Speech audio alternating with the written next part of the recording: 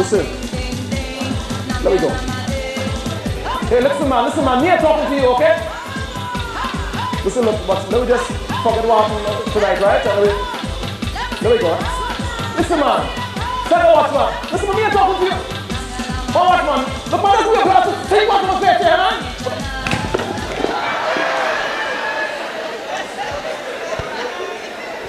You slap me. You slap me. Well, man, you're dead tonight, man.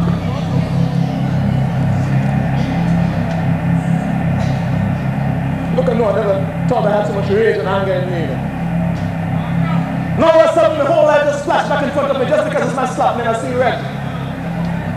And I realized all of a sudden that I was just angry over everything. Angry because of what I just left and went to America. Angry because of when the granny had to dead leave me. Angry because of the way my Auntie Gladys treat me. Angry because of the refused to take me in, man. Angry because I was afraid to lose Lucille. Angry because this man just slapped me and embarrassed me in front of everybody. And as though a demon just up in the head and they just lose it man. So I just slapped up the you know. And I started again and again and again. And he falls to the ground and the only time I come to my senses was when the warm blood just splattered all over my face. Oh God. Oh God, what I do? What I do? Oh God. What I do?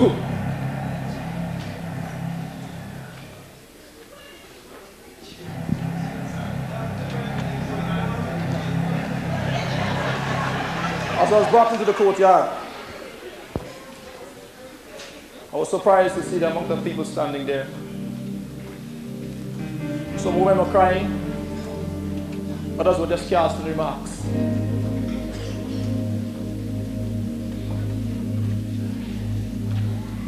As I entered the courthouse, saw Mr. and Mrs. Smith were there, Uncle Boise. Auntie Gladys didn't come because she said the devil had finally caught up with me. There was my mother, sitting in the front row, looking so nice and so pretty. She had finally gotten her papers fixed up. The trial went on for six long days. As the witnesses, they came and went. To me, it was one big long nightmare. And finally, time came for the lawyers to make their final presentation to the jury. My lawyer pleaded to the jury to reach out and try to save the young generation, especially the young men. Instead of banishing me to an institution where I'll be lost forever. And I really thought that I had a chance. Except for when the prosecutor stepped forward to make his final delivery to the jury.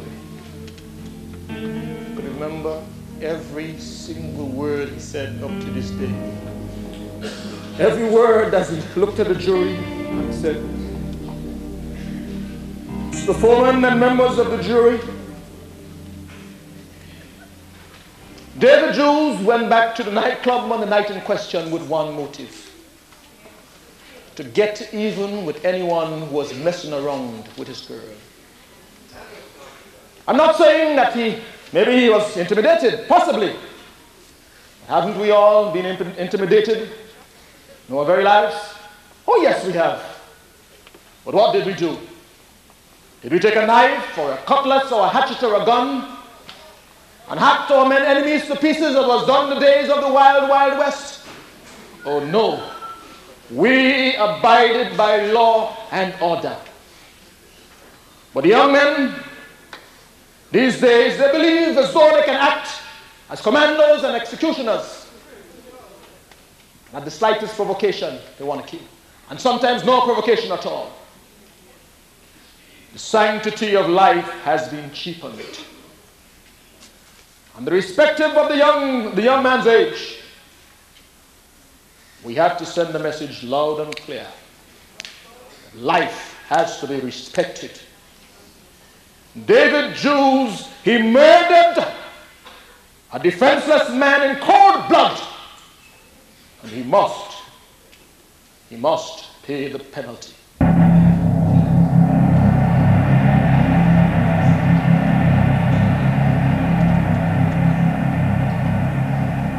After two hours, the jury came back. Filed in one by one. He answered the names and then they took their seats. The judge then asked me to stand. Oh God, please give me another chance. Please. You know I didn't need to do it, Lord. The judge then asked the foreman juror to step forward.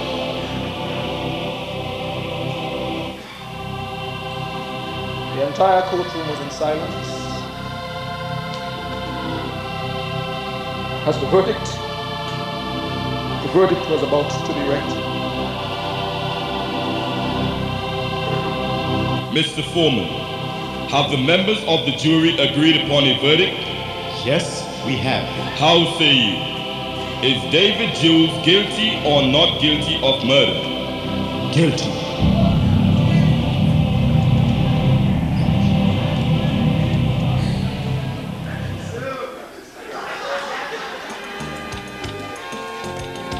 That was always happened. From the beginning right to the very end. This is my story. This is my story.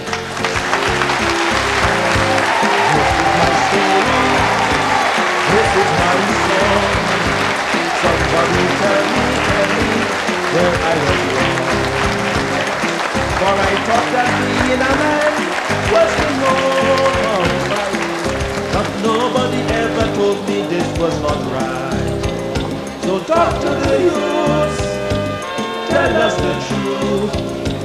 Lessons of survival to make it through this world. Show us you love, tell us you care. This is the message that every youth need to